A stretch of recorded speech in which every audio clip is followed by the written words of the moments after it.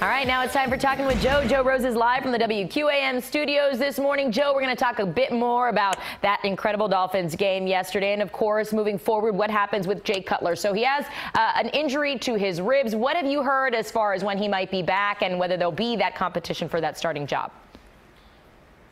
Well, I don't think there's going to be a competition. I always love when everybody says there's going to be an open competition. I don't think it's going to happen. But I will say this with Jay Cutler being out with either broken or bruised ribs, he's going to be out for a while, and it's going to be Matt Moore's time to shine like he did last year late in the season when he had to take over for Ryan Tannehill. And this team and the offensive players around him have a lot of confidence, and there's a good chance Thursday night he's going to have DeVante Parker back as well for their three wide set, which will also give them another weapon. But yeah, there's a lot of confidence in Matt Moore. Matt Moore's clearly one of the best backup quarterbacks in the National Football League. He's proven that, by the way. He played yesterday again and last year.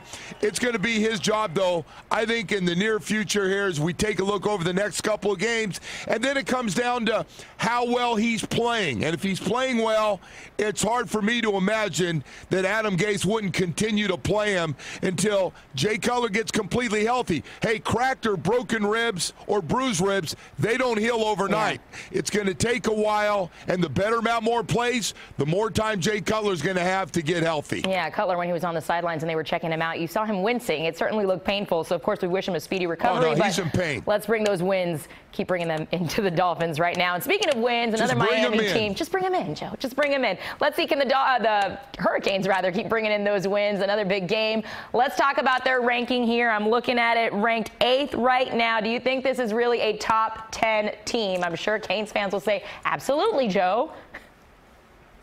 Well, we, we got Mark Richt coming up here in a little while this morning, and I know he's a little frustrated that they're not able to put teams away early on. I mean, they had four takeaways early in that game, four interceptions by the Canes defense. Should have been a chance for them to just take this game and run away with it.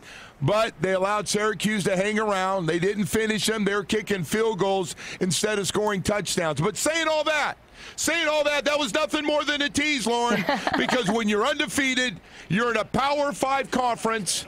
You're undefeated again. I'm going to say it over and over. There's only eight teams in the country. Then that means they should be a top 10 team. They're playing well enough to win, and that's all that matters.